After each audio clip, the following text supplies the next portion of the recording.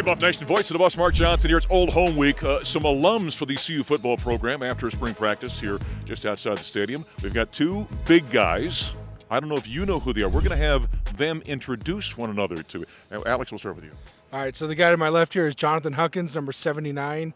Uh, one of the best American football players to come out of London in uh, recent memory. People, yeah, London. We think of you as a Texas guy. That's right. Yeah, yeah. actually born in London. Well, to my right, I've got Alex Kelley. Uh, played center for us 2012, 2016. Fun fact about him: he scored the first touchdown in the 2016 season uh, against CSU.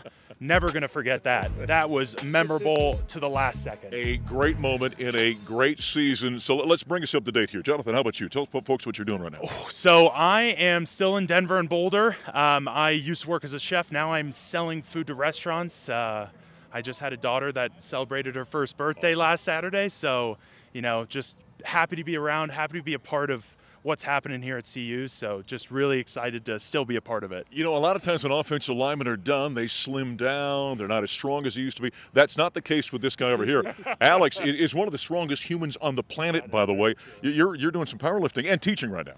I so I'm uh, I'm coaching now. Okay. So I'm a professional strongman. I do a little bit of powerlifting, but strongman's my sport. And uh, I was a teacher for about five years, but now I do uh, weight room at Fairview High School and strength and conditioning out of my gym. When's your next competition?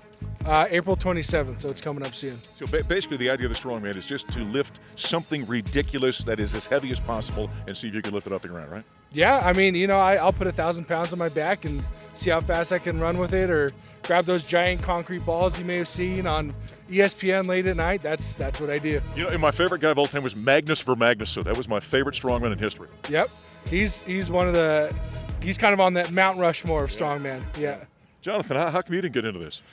I think uh, you know. I think Alex is just too good looking. Um, you know, he just got into it because he's just a lot stronger than me. Um, I got into the kitchen and I uh, was just standing and losing weight and getting weak.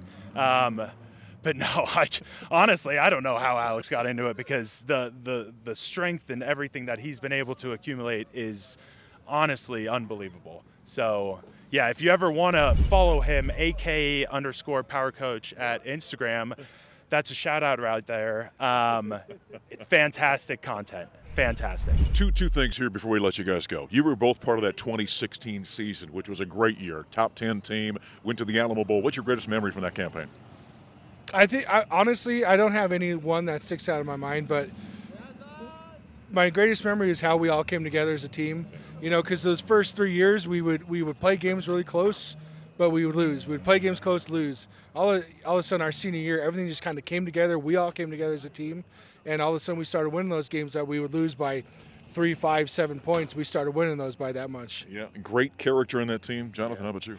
I uh, I would agree with Alex fully. You know, I think us coming together that being said, I think one of my favorite memories was beating Utah, being the victory position on the field, and then having those fireworks go off when we won the Pac-12 South. It was it was one of the most memorable things, you know, in my football career. Just having that excitement and being on the field for that, and being able to, you know, share it with guys like Alex and all the other teammates that, you know, we try to stay in touch with, you know, to this day. Yeah, magical campaign. Lastly, here, boy, things have changed around here. You got Coach Prime, you got national attention.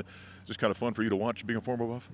It's so much fun. Like I was just walking down the hallway today, and Warren Sapp comes up and says good morning to me, and Deion asks if I have any more eligibility. I'm like, I mean, find me a COVID year. I don't know. I'm, I'm ready. it is a lot of fun. Jonathan, how about you? it's, it's got to be fun for you guys to sit and kind of watch what's happening with this program. Exactly. You know, seeing what you know, I know that Alex and I would like to think that we were a big part of, and you know, seeing not just Colorado, but the whole nation really understand what CU is about and where we can go and what we can do is is really exciting. So I'm I'm really excited to see what we what we do in the future and what we can kind of accomplish as a team. Yeah, these two guys are part of a great, great campaign in 2016. Jonathan Huckins, Alex Kelley from the offensive line, and they're watching Coach Prime as they get ready for the spring game coming up on April 27th.